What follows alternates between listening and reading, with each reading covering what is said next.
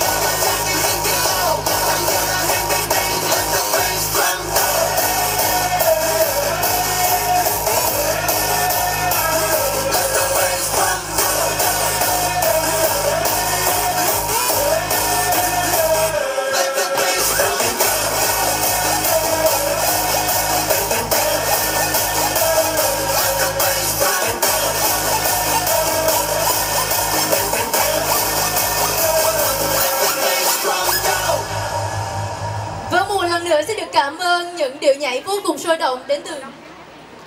đến từ vũ đoàn VIP và kính thưa quý vị, ngay bây giờ chúng ta sẽ cùng trở lại với một gương mặt